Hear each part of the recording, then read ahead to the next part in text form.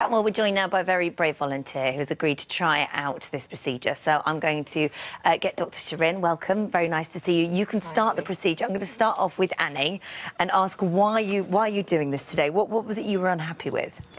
Well, as I've got a little bit older, I'm now 37. I've noticed that skin in all areas of my body. Yeah. The elasticity of it is it's just not the same. So it's more for prevention, tightening up my pelvic floor as well. Okay, but, keeping it but this is not aesthetic. It's not that you look at it and go, oh, that doesn't look. Oh no, no, I'm quite happy. Like I said, ten years ago, I wouldn't, I wouldn't even Even think dreamt of about doing it. But it's more maintenance.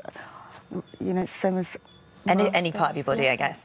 Um, really brave. I mean, more women seem to be talking about this than ever before, which is a big forward step. Yeah, I think actually, Holly, the problem is that not enough women are talking about the issues they're having Yeah. with um, their vaginas in Yeah. general, um, problems like stress incontinence and laxity, Yeah. and lack of confidence as your body changes. Yeah. Um, more and more women are coming forward when they find out that treatments like this are available that are safe, non-invasive, and effective. Well, we should talk about what's going on now. There's a lot of bibbing going on. I can see. So, what, what are you doing? We saw the probe. Yeah, Do you yes, call it that? we call it a probe. Okay, we saw Uh, the probe. Dr. Zoe had that, so we know that's now inside you. Yes. And what are you doing? So I'm moving it backwards and forwards inside the vaginal canal. Yeah. And there is um, a little band on the probe, which is where the radio frequency is emitted from.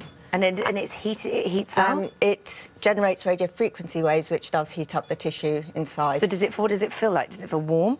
Yeah, it feels kind of like if you've been for a hot stone massage, that hot Yeah. stone feeling. Just And it, but it's not uncomfortable. not at all. So no pain. No. And how long do you have to do this for? the internal treatment takes eight minutes. Oh, so it's really quick. So it's really quick, and there, you can do the external treatment as well, which helps with the um, vulva, the labia. Oh, okay. So that's the one that also helps with the cosmetic appearance. and how long does that take to do the Um, outside? about 20 minutes, and, then, it's a treatment of how many? um, up to four, depending on how severe the condition is. Up to four. And, and what's the cost? Is it pretty pricey? Um, for the full treatments, you're looking at around £1,200 in this part. And is that it done, or do you have to come back and top up? Usually, because you can't stop the body from ageing, unfortunately, Yes. there are maintenance treatments needed, but that's usually what. You've had the treatment, we're all done. This is the big reveal. So you're going to have a look to see if you can notice the difference yourself.